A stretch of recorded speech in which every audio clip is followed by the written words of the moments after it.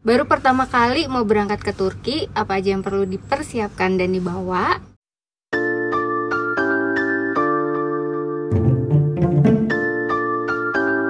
Di video kali ini aku akan bikin video review perjalananku ke Turki, apa aja yang perlu dipersiapin, apa aja yang kira-kira dibutuhkan di sini. Jadi videonya jangan di skip, ikuti terus sampai selesai ya.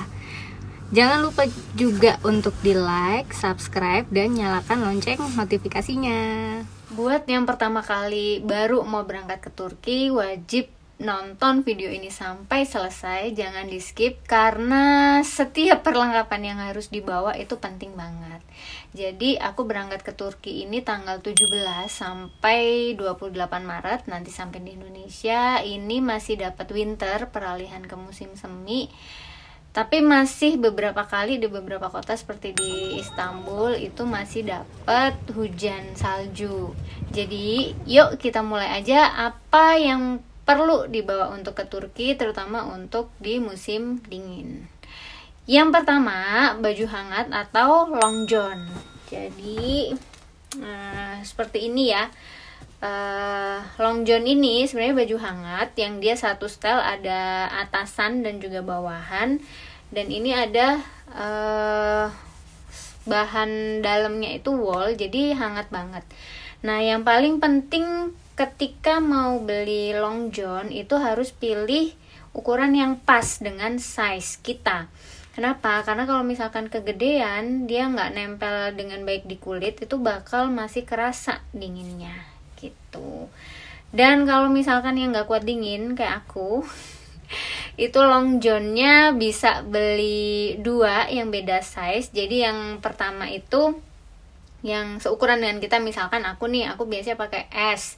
Jadi aku beli S dan satu lagi aku beli yang M. Jadi yang S dipakai dulu kemudian habis itu pakai yang M. Jadi double dua. Belum lagi kemudian pakai sweater seperti ini.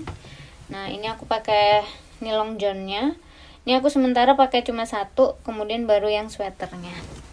Jadi bisa kalau pas lagi dingin banget kayak kita main ke RCS ataupun ke Uludak ataupun di Istanbul karena anginnya kenceng itu biasanya bisa pakai 3 sampai 4 lapis. Untuk long john sendiri minimal bawa dua, dua ini yang uh, sesuai size kita nih yang fit nempel di kulit itu minimal bawa dua. Jadi buat ganti-ganti.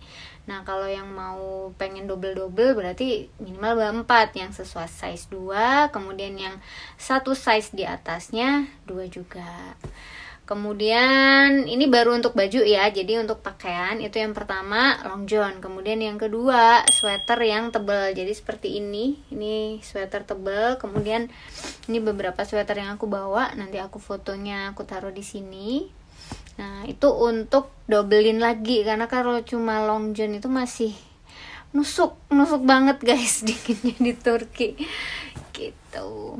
Terus yang ketiga itu celana winter. Jadi celana winter ini tebal banget. Nah, ini yang dia uh, motifnya juga banyak sih. Ada yang warna-warni, kemudian ini yang kayak motif leather gitu ya. Sebenarnya sih bukan. Dan ini lentur. Meskipun tebal, dia ada lapisan woolnya di bagian dalam itu nggak nyesek sih, nggak nyesek. Kalau ukurannya pas, lagi-lagi harus pilih ukurannya yang pas. Nah ini aku juga punya yang dia motif jeans. Jadi semua baju yang aku pakai di sini uh, bisa beli di Uniqlo di H&M ataupun di All Shop. Nah untuk All Shopnya di mana nanti aku bakal kasih di deskripsi ya. Aku kasih linknya di deskripsi. Nah untuk celana tebal Nah, ini aku saranin pilih satu size yang di atas ukuran kita. Kenapa? Karena untuk long john kan tadi long john ada celana nih. Aku sempat pakai satu lapis aja waktu pertama kali nyampe di Istanbul dan itu dingin banget. Dinginnya benar-benar nusuk sampai ke tulang. Jadi aku saranin pakai dua. Jadi yang dalam pakai yang celana long johnnya dulu kemudian baru celana untuk luarnya. Nah untuk celana untuk luarnya ini pakainya eh belinya itu kalau bisa satu size di atas ukuran kita biasanya. Kenapa? Nah kalau ini nih yang punyaku yang motif leather ini aku belinya sengaja yang satu size di atasku. Jadi ketika di dalamnya aku pakaiin long john lagi itu dipakai masih nyaman karena masih ada space. Nah sedangkan yang ini nah ini yang motif jeans. Itu aku belinya karena memang aku juga baru pertama ya berangkat ke luar negeri di winter.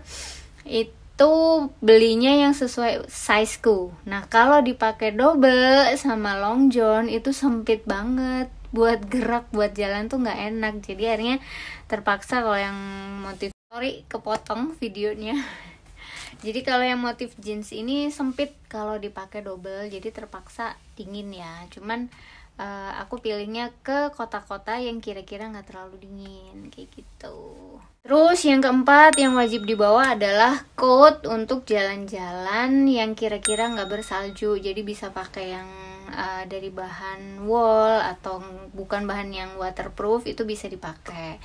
Dan yang kelima juga harus bawa coat, winter coat yang waterproof. Jadi kalau untuk yang misalkan ada rute nih main ke gunung kayak di RCS, Uludak ataupun memang pas di tengah-tengah winter yang banyak hujan salju, aku saranin harus bawa uh, winter coat yang waterproof kayak ini. Gitu.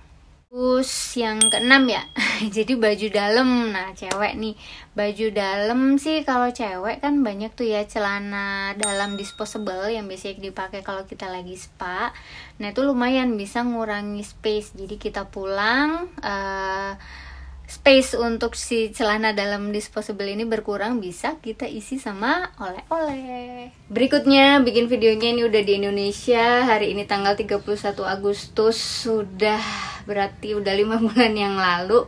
Emang aku karena video ini itu pasti panjang karena persiapannya itu banyak banget aku aja pribadi itu nyiapin sebelum berangkat itu tiga bulan jadi biar aku makin semangat bikin video-video selanjutnya jangan lupa di like subscribe dan nyalakan lonceng notifikasinya share juga ke teman-teman kalian semua sebanyak-banyaknya Baju ketujuh yang harus dibawa adalah baju tidur yang tebal. Aku tuh meskipun di hotel sudah ada penghangat ya, tapi aku masih berasanya tuh kedinginan. Mungkin karena lagi nggak ada suami kali ya. Jadi aku sengaja beli jogger winter plus pakai baju rajut lagi sebelum tidur itu biar lebih hangat. Yang kedelapan bawa kaos kaki winter. Jangan kaos kaki biasa sumpah di sana tuh dingin banget dan bawa minimal tiga kalau butuh untuk gonta-ganti atau mungkin kalau terlalu dingin banget nggak kuat aku aja yang di akhir winter itu masih kerasa kedinginan tuh kadang butuh untuk pakai double kaos kakinya yang kesembilan sepatu. Nah sepatu ini jangan hanya bawa sepatu fashion buat foto-foto ya. Jangan lupa bawa sepatu boot yang khusus winter untuk main di salju yang alasnya itu tebel dan Eh, nggak uh, licin kalau dipakai di salju. Dan juga kalau bisa bahannya tuh yang leather atau semi leather gitu. Jadi ketika kena salju itu sepatunya nggak basah dan nggak bikin kita kedinginan bawa juga sneaker kalau perlu karena terutama untuk di perjalanan sih ya dari Indonesia ke Turki itu kan kadang harus transit bandaranya jauh terminalnya jauh jadi biar nggak capek pakai sneaker yang empuk dan ringan Oke, itu tadi semua 9 yang khusus baju dan perlengkapannya. Next, berikutnya adalah tentang asuransi dan obat-obatan. Ini juga penting.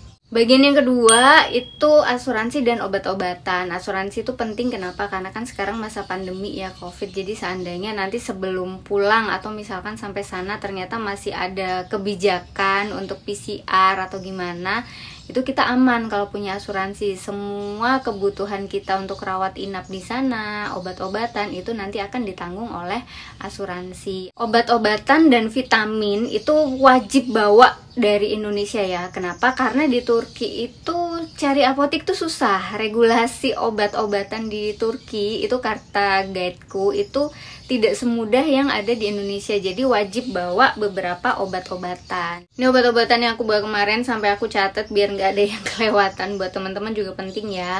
Beberapa obat yang perlu dibawa itu kayak paracetamol misalkan capek-capek badan atau mungkin ada demam terus obat flu dan batuk mungkin seperti dekolgen, neosep. Nah yang bisa dibeli bebas itu juga kalau bisa bawa. Terus obat alergi. Nah karena aku memang ada riwayat alergi makanan ya takutnya nggak cocok makanan di sana itu aku bawa obat alergi. Terus obat diare. Ini juga nih. Nah karena traveling tuh kan mungkin uh, jarang cuci tangan atau mungkin makanan yang nggak cocok jadi harus siap-siap bawa obat diare nah yang paling penting kayak oralit atau mungkin laktobi atau mungkin jenisnya tuh juga boleh Terus juga yang penting banget salep buat nyeri semacam kanker pain dan teman-teman. Jadi kalau misalkan capek habis harian jalan, nah itu aku sebelum tidur biasanya pakai kanker pain dulu. Terus uh, vitamin C. Nah, vitamin C, vitamin D itu kalau bisa bawa. Jadi pagi tuh sebelum sarapan eh setelah sarapan itu minum vitamin. Ntar makan siang juga minum vitamin karena memang uh, kalau ikut tour and travel itu aktivitasnya atau jadwalnya padat. Jadi biar kita selalu fit dan sehat. Kalau untuk vitamin C itu aku lebih rekomen yang dia komposisinya per tablet tuh sekitar 200 atau 500 ya. Karena kan vitamin C itu setelah 7 sampai 8 jam kita konsumsi kadarnya akan turun. Maka akan lebih baik kalau kita konsumsi vitamin C-nya itu sehari dua kali atau tiga kali Terus minyak kayu putih, minyak telon, aku juga bawa. Jadi habis mandi itu pakai itu lumayan bantu biar anget, biar nggak masuk angin, tolak angin itu aku juga bawa. Jadi uh, sejak sebelum berangkat itu tolak angin di koper ada, di tas kecil yang aku tenteng naik pesawat tuh juga ada. Jadi kan seharian tuh kita di perjalanan, kadang aku juga minum tolak anginnya. Perlengkapan ketiga yang harus dibawa adalah skincare, terutama sunscreen. Meskipun datangnya itu winter, jangan lupa ya, sinar matahari UVA, UVB itu tetap bisa masuk ke dalam kulit. Jadi sunscreen tuh wajib. Dan yang paling penting juga itu bawa pelembab jadi aku pakai astaxanthin serum itu uh, selama di Turki itu pagi dan malam sebelum tidur aku pakai. Jadi sehari dua kali. Padahal kalau di Indonesia aku pakainya itu seminggu cuma 3 sampai empat kali aja.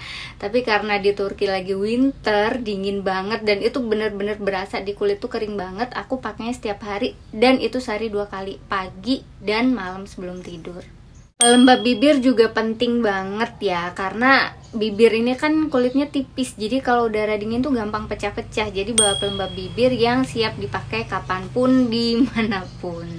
Jangan lupa juga body lotion. Nah kalau body lotion ini kalau menurutku sih kalau pas lagi winter nggak harus yang ada SPF nya karena kan kalau winter itu semuanya ketutup. Kita cuma kelihatan wajah. Belum lagi karena ini pandemi kelihatannya cuma mata doang. Jadi kalau untuk body lotion bolehlah pakai yang dapat dari hotel atau mungkin bawa tapi nggak harus ada sunscreen tapi kalaupun ada sunscreen juga lebih baik sih Nah, khusus skincare ini kalau bisa siapin satu tas khusus yang bisa dibawa ke mana pun yang nggak terlalu gede gitu ya. Nah, bisa jadi satu sama mukena. Jadi kalau yang udah selesai sholat itu bisa langsung pakai lagi sunscreennya, body lotion dan juga pelembab bibirnya. Perlengkapan berikutnya yang wajib dibawa terutama untuk yang muslim nih ya, yang muslimah bawa mukena jangan lupa meskipun di Turki itu mayoritas muslim tapi tidak semua di masjid menyediakan mukena. Nah, untuk mukena ini aku saranin bawanya yang bahan parasut karena dia kan tipis dan gak terlalu berat kalau bisa jadiin satu dalam satu tas dengan skincare skincare yang tadi. Perlengkapan berikutnya yang harus dibawa adalah makanan dan cemilan. Aku sebenarnya sih bukan termasuk orang yang pilih-pilih makanan ya. Aku semua jenis makanan suka apa pun aku makan, mungkin kecuali sandal jepit kali ya. Tapi ketika memasuki hari kelima di sana itu udah mulai bosen dengan makanan Turki dan aku nggak ada bawa apa pun selain pop mie sama mie gelas untungnya banyak teman-teman lain yang satu grup itu dia bawa mulai dari sambal-sambal khas Indonesia abon sampai rendang itu ada yang bawa. Jadi kita saling barter biasanya pas makan. Di hari ke-6 ke-7 karena udah kangen banget dengan masakan Indonesia Waktu itu kita di kota Angkara dan ada waktu bebas tuh untuk jalan-jalan. Nah karena di sana banyak mall Kemudian kita ketemu KFC akhirnya makan KFC Akhirnya kita nemu makanan yang kira-kira cocok dengan lidah kita KFC Ya ampun. Padahal harusnya sih tetap nih jatah makan malam dari hotel yang gratis itu ada. Cuma karena udah bosen dengan menu masakan Turki Akhirnya kita tetap makannya di KFC aja So, buat temen-temen yang agak susah lidahnya adaptasi dengan masakan yang nggak biasa, nah itu aku saranin bahwa seperti abon, kemudian mie gelas, rendang, ataupun sambal-sambal khas Indonesia yang teman-teman suka. Nah, kalau untuk mie itu aku lebih saranin tuh bawanya yang mie gelas, karena kan dia nggak terlalu banyak makan tempat ya, dan di hotel itu kita selalu dapat gelas yang bisa dipakai untuk makan. Perlengkapan berikutnya yang harus dibawa adalah koper dan tas.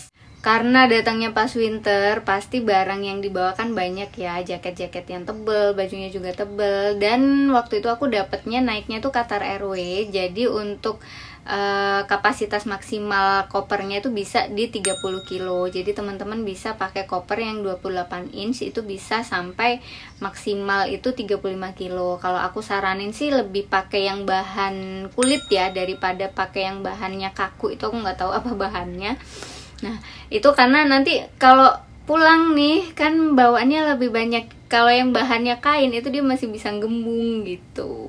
Dan untuk tas tenteng yang boleh masuk ke kabin pesawat itu 7 kilo aku bawa tas yang ini dan juga aku bawa tas tenteng satu yang untuk barang-barang penting seperti HP, dompet, paspor dan lain sebagainya. Di tas yang tenteng itu aku taruh mukena, kemudian jaket buat di pesawat karena aku termasuk orang yang nggak tahan dingin, kemudian aku bawa tisu kering, tisu basah, tapi sebenarnya bisa sih dapat di pesawat ya. Kemudian ada hand sanitizer cadangan. Nah tapi karena di pesawat itu dapet jadi untuk cadangannya sih saranku nggak perlu banyak-banyak karena kan kita dua kali ya transit jadi dapat dua hand sanitizer tuh dalam satu perjalanan. Jadi cadangannya sih secukupnya aja. Terus aku juga bawa cemilan permen kali kalau pas lapar tapi ternyata kenyang sih karena cuman tidur. Dapat makan dapat lagi cemilan jadi nggak terlalu banyak. Paling kayak tolak angin tuh kadang kan capek di perjalanan. Nah biasanya aku bawa juga di tas tentengnya Jangan lupa juga beli plastik vakum untuk baju. Jadi yang dia bisa lumayan hemat space kalau misalkan kayak uh, coat kemudian baju uh, apa jaket-jaket rajutnya itu dimasukin ke dalam plastik vakum ini benar-benar bisa hemat space dalam koper. Perlengkapan berikutnya yang perlu dibawa adalah setrika Nah sebenarnya sih nggak terlalu butuh ya kalau pas lagi winter karena kan bajunya itu ketutup coat kemudian e, kalau jaket-jaket rajut juga nggak gampang kusut paling kepakainya itu cuma kalau untuk jilbab sih kalau aku waktu itu. Nah aku bawanya itu yang setrika lipat jadi dia bisa lumayan hemat tempat juga dalam koper. Linknya aku kasih di bawah untuk setrikanya ya. Berikutnya ke bawah hair dryer. Jadi kalau yang nggak suka basah-basahan, apalagi kalau yang pakai jilbab kayak aku ini kan nggak nyaman banget ya kalau basah pakai jilbab tuh bikin pusing karena nggak semua hotel itu menyediakan hair dryer. Jadi kalau bisa teman-teman juga yang cewek nih terutama bawa hair dryer. Perlengkapan berikutnya adalah sabun cuci baju. Ini tergantung teman-teman sih, tapi aku kalau traveling aku itu terbiasa, terbiasa bawa sabun cuci baju itu yang saset itu sekitar satu atau dua. Jadi kalau misalkan butuh harus nyuci pakaian dalam misalnya atau mungkin baju-baju apa yang kotor habis main gitu enak udah siap-siap bawa. Tapi waktu di sana sih nggak terlalu banyak kepake sih, kepake cuma separuh aja kemarin. Perlengkapan berikutnya yang gak boleh lupa adalah tongsis. Meskipun ada guide kadang yang bisa bantu kita fotoin, cuma dalam satu grup itu kan lumayan banyak orang, jadi nggak selalu guide-nya bisa fotoin. Jadi buat teman-teman mungkin yang mau ngevlog juga itu jangan lupa bawa tongsis. Ini nanti semua link produk yang aku bawa nanti aku kasih di deskripsinya ya. Bisa teman-teman lihat, mungkin kalau cocok bisa nanti ordernya di situ. Oke, itu tadi perlengkapan yang aku bawa. Mudah-mudahan aku nggak ada yang lupa. Kalau perlengkapan, eh, persediaan nih untuk mata uang yang aku bawa, aku udah bikinin video tersendiri tentang itu. Jangan lupa ditonton di sini karena itu penting ya. Nanti kalau kita mau belanja di sana, Uh, yang paling murah nih mending tukar di money changer ambil di ATM atau gesek langsung di sana. Nah itu semuanya aku jelasin di video ini. Kemudian juga video tentang tempat belanja oleh-oleh yang murah di Turki itu juga udah aku bikinin videonya bisa langsung ditonton di video itu.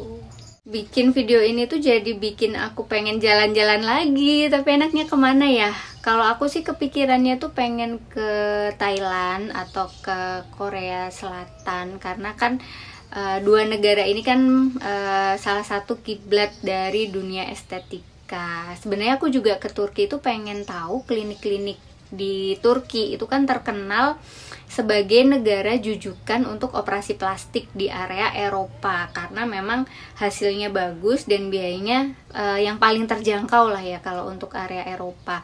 Tapi meskipun waktu di Turki aku nggak sempet datang ke klinik-klinik tersebut, tapi selama di Istanbul terutama kalau pas lagi di mall itu aku sering banget uh, lihat orang-orang itu yang habis implan rambut yang cowok-cowok. Kemudian kalau yang cewek-cewek itu habis operasi plastik di bagian hidung. Itu banyak banget. Nah jadi buat teman-teman kira-kira enaknya next aku liburan ke luar negerinya ke mana ya? Ntar pasti aku bikin video reviewnya lagi perlengkapannya lagi. Jadi coba dong komen enaknya ke negara mana untuk liburan berikutnya. Thank you yang buat the, yang udah nonton dan kasih like subscribe. Thank you banget karena itu bikin aku semangat untuk bikin video-video selanjutnya. Bye bye